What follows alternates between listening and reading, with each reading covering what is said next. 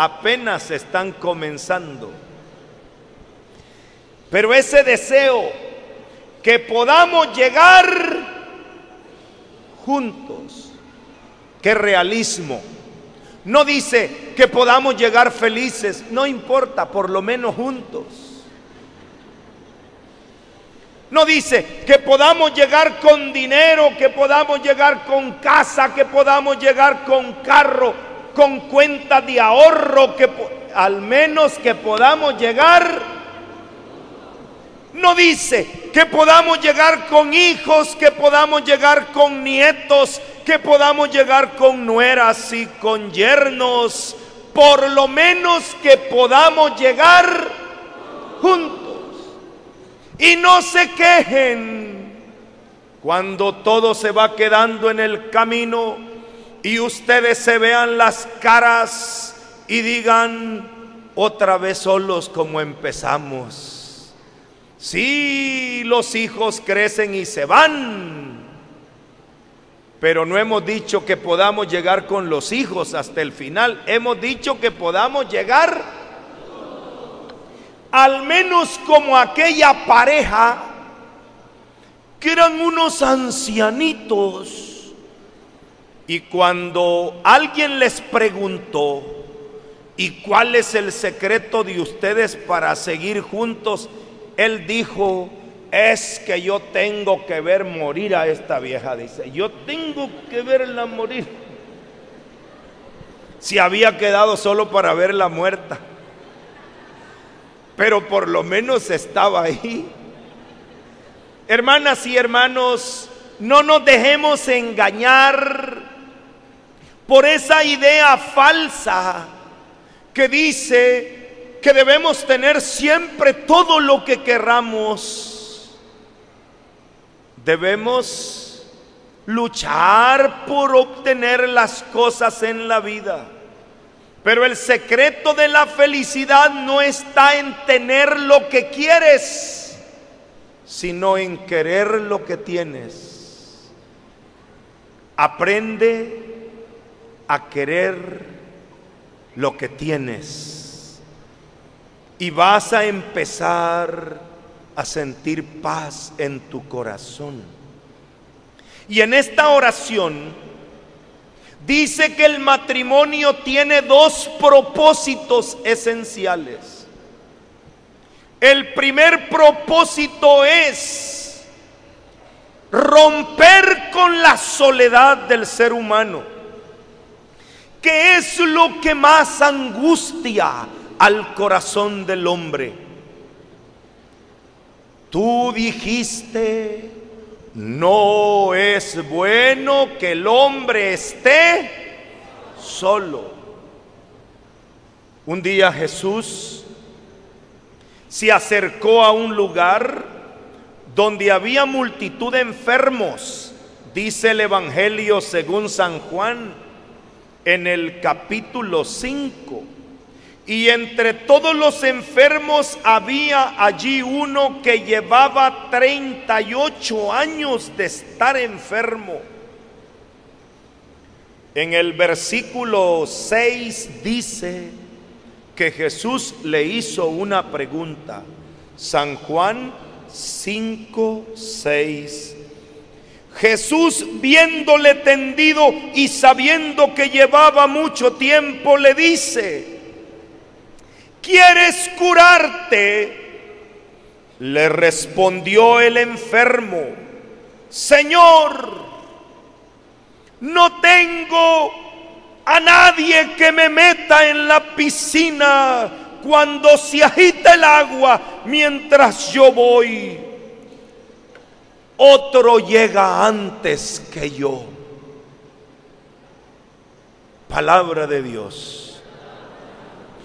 O el enfermo no oyó la pregunta que Jesús le hizo. O el enfermo contestó lo que más le dolía. Jesús le dijo, ¿quieres curarte? ¿Quieres sanarte? Y el hombre respondió, ¿qué fue lo que respondió? no tengo a nadie. A ver, yo les voy a hacer la pregunta que hizo Jesús. ¿Quieres sanarte? Y tú me vas a contestar, no tengo a nadie. Con permiso del que está a tu lado porque te puede regañar. ¿Cómo que no tienes a nadie? Quito yo. A ver, ¿quieres curarte? Si Jesús no le preguntó, ¿usted está solo o acompañado? Eso no fue lo que le preguntó.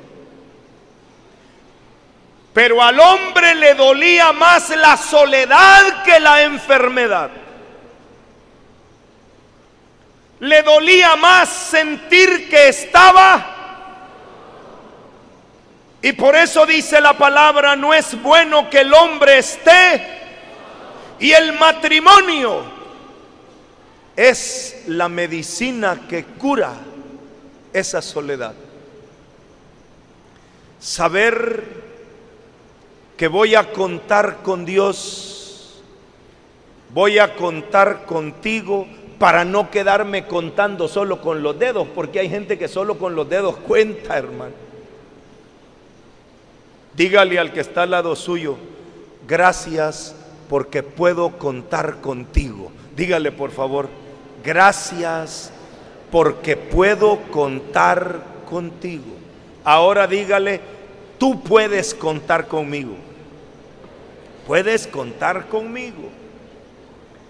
Y ese contar con el otro es lo que dice la Biblia para que sea sostén, ayuda, apoyo semejante sostén, apoyo, ayuda. Que la mujer pueda decir, tengo hombre y tengo hombro donde apoyarme. Porque algunas solo hombre tienen, pero no tienen hombro donde apoyarse. Usted tiene hombre y hombro que los hombres puedan sentir que tienen al lado como Adán a Eva, por lo menos para echarle la culpa. Ah, ya era bastante, Eva alivió a Adán. Cuando Dios le preguntó, ¿y por qué comiste de la... La mujer fue la mujer. Ay, qué alivio, por lo menos hay a quien echarle la culpa, hermano. Si no te tocaría solo. El matrimonio sana al ser humano de la soledad y entra en lo que se llama la dimensión unitiva del matrimonio, une a la pareja. Ya no son dos, los dos son una sola carne. Y además, el otro propósito del matrimonio, como estaba dicho en esa oración de Tobías que leímos, y para que de ambos proviniera la raza de los hombres. Eso se llama procreación. El matrimonio también tiene la función procreativa, o sea, el dar fruto que se llaman hijos. No es el primer objetivo del matrimonio tener hijos, porque hay parejas que no han podido tener hijos, pero no quiere decir que ese no sea un matrimonio. Los hijos ciertamente no son un agregado, ni son un derecho, son un regalo de Dios. Y el matrimonio los recibe con amor y ve el amor de ambos convertido en una sola carne, en un solo corazón, en una sola alma, en los hijos.